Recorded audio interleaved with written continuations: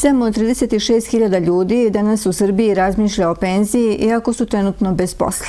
Toliko njih uplaćuje samostalno doprinose preko fonda PIO u skladu sa članom 15 zakona o penzijsko-invalidskom osiguranju i pritom skoro polovina bira najnižu osnovicu od 35% od prosečne zarade u Srbiji, što znači da će im i penzioni ček biti najniži.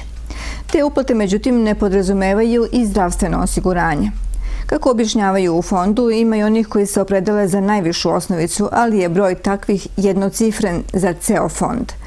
Najviši iznos koji važi za uplate doprinosa za maj, juni i jul 2017. godine iznosi 312.940, dok je mesečni doprinos 81.364 dinara, kaže Jelica Timotijević, direktor sektora za odnose sa javnošću u PIO.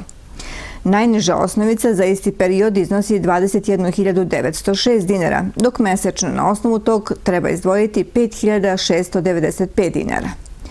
Od 2003. godine, kada je zakonom o PIO omogućena samostalna uplata doprinosa za obavezno penzijsko osiguranje, do danas oko 270.000 osoba je koristilo mogućnost uplate po članu 15 zakona u periodima od mesec dana do nekoliko godina. Zvojstvo osiguranika stiče se danom podnošenja zahteva, a izuzetno na zahtev osobe može se steći najranije 30 dana pre zahteva. Bira se jedna od 13 ponuđenih osnovica osiguranja, nezavisno od školske spreme. Najniža osnovica iznosi 35% prosječne republičke zarade u prethodnom tromesečju, a najviša pet takvih prosjeka. Stopa doprinosa za penzijsko i invalidsko osiguranje je 26%. Osnovice se, kako nalaže zakon, usklađuju svaka tri meseca prema kretanju zarada.